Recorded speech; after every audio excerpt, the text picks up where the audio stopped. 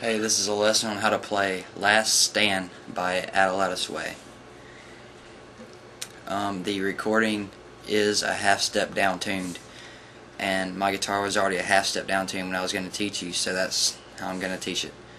I would teach it in standard, I'm sorry, but it was already like that, and I didn't feel like tuning it to standard.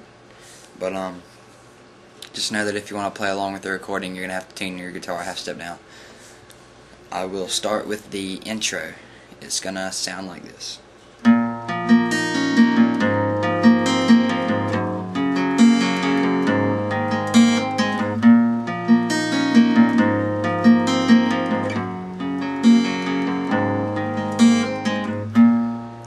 Okay. And it really only plays that once for the intro. I just played it a couple times so you could hear it. Um, you're gonna need start off in a it's not a not really a B minor. You're gonna do a B minor with the bar but then you're gonna lift off the uh, with your index finger keep it on the second fret of the B but just lift the bar part up so you have an open high E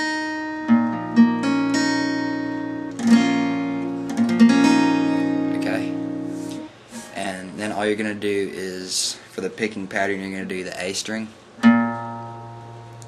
D, G, high E, B, G, A.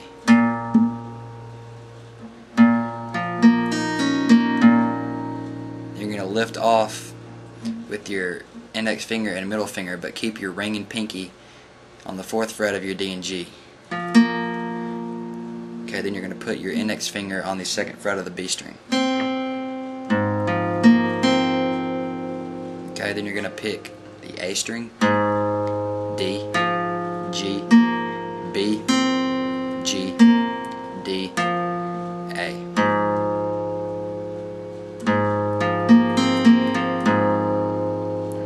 Then you're going to go to a G, but you don't need third fret of your B or the third fret of your high E.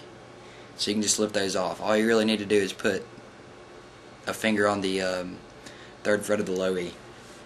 You're going to pick low E, D, G, B, G, D, low E.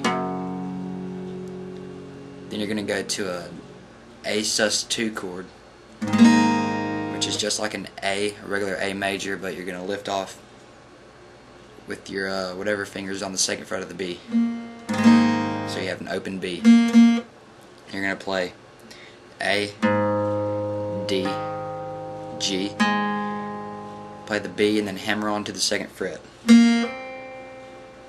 G,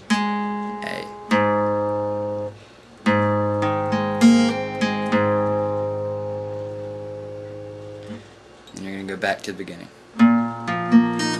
Sorry.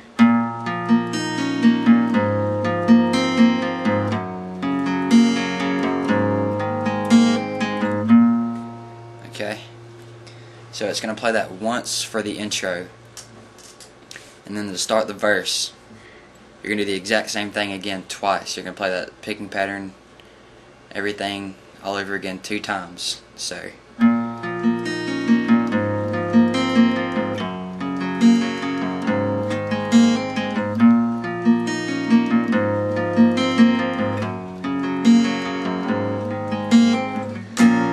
Okay,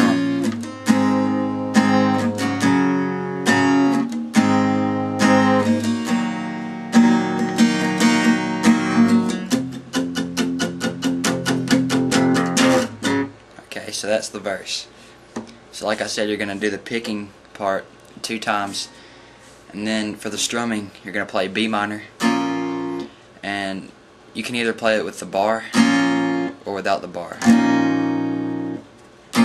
sounds good either way. So B minor to an A to a G and then back to an A. You're only going to do that one time and then you're going to go to an E minor and you're going to play that for two measures. and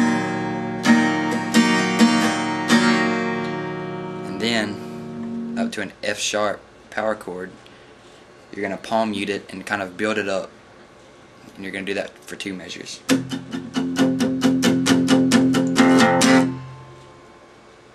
Okay and then that is the entire verse. And now to the chorus. The chorus is kind of long and it has a lot of chords in it so I'll play it first and then show you how to do it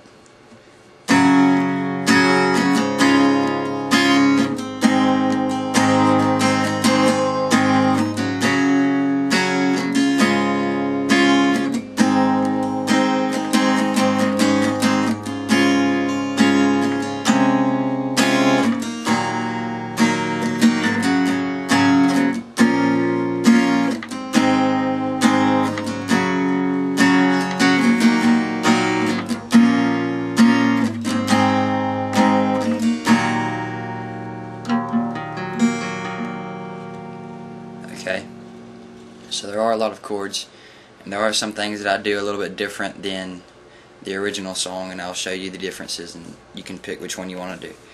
But to start off, you're going to play a measure of G,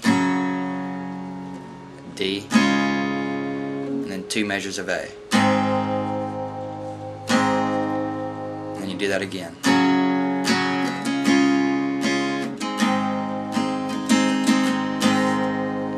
Where I do something different than the band does. Um, if you look at some of the YouTube videos of them playing the acoustic version, um, he'll go to a D power chord, to a D over C sharp power chord, and then E minor, G. But I just don't like, if you're playing by yourself with just an acoustic, I think it sounds better to go to a regular D chord, put your pinky on the fourth fret of the A string for the D over C sharp, E minor to G. I don't know, it just doesn't sound right to be playing all these open chords and then go to a power chord. Just doesn't sound right to me, so after you do this,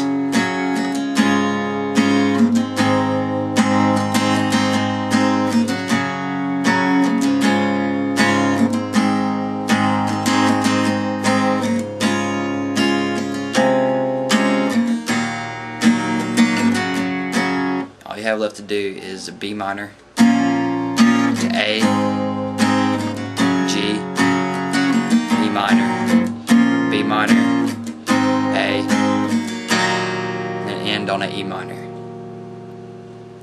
So the last part is B minor, A, G, E minor, B minor, A, E minor. And then right before it goes back into the verse, it kind of uh, picks this E minor. Before going back into the verse. Okay, so that is the chorus. Okay, so after you play the second verse and the second chorus, it's going to go into the solo. And I'm not going to teach you the actual solo, but I will teach you the chords that go with it. You're going to play, well, I'll play it for you and then show you how to do it.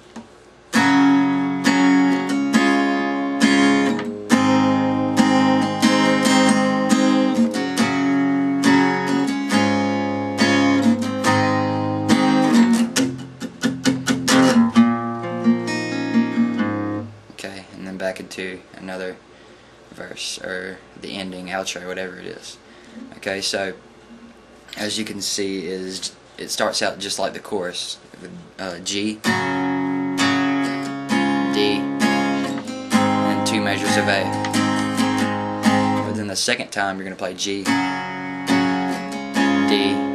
and only one measure of A. And then after that one measure of A, you're going to go to the F sharp power chord and build it up again. But instead of doing it for two measures like all the other times, you're going to do it for one measure. Before going back into the verse. So that's it. I will put the um, intro verse, the tab for it in the um, in the description if you still need help. But I've got to end this video because it's getting up on 10 minutes. So. Thank you.